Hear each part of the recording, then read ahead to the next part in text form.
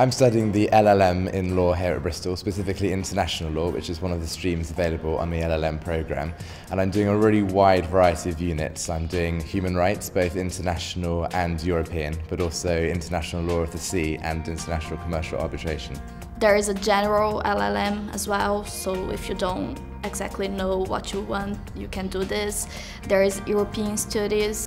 I could choose from a range of different options. So what I end up with is a course that is really about EU law, so EU trade law, for example. The course I'm doing is also international commercial arbitration and global corporate governance, which has uh, perspectives which are useful for anyone wanting to do work at the international field. The quality of teaching at Bristol is absolutely fantastic.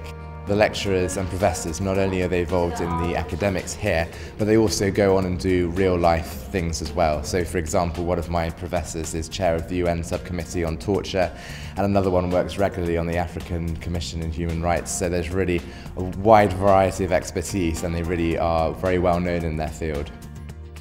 Our course is structured in seminars, which is great because we have the chance to prepare before and we have to speak out during the seminars. I didn't have this in Brazil, so I think it's a great way to learn.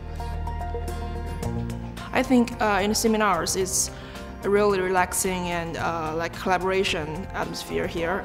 Teachers here are really, really great. They are passionate and they're inspiring and uh, they're they're friendly. And I think the most important thing is that they make you feel that your opinions count. I think one of the great things here at Bristol is that you can get involved in lots of different things, not only in the classroom but also outside the classroom. So for example, there's mooting, and mooting is a mock trial where you go and put your legal skills to the test. I'm also involved in the Human Rights Law Clinic, which is part of the Human Rights Implementation Centre here at Bristol. And that gets you involved in real life work for proper NGOs and put your skills that you've learned in the academic environment to good use. I think both academic-wise and living-wise, I can only have positive words to say about Bristol. If I go back and I'm speaking to more junior associates when they're asking me about coming here, I definitely think Bristol would be my first choice. A lot of people told me that Bristol was a really nice city. I really like the fact that it's a little bit smaller. It's not as big as London. You don't get lost and you get to know certain people that you meet on the streets. I think one of the great things about this postgraduate course at, at, Bristol is that it offers really, really good value for money.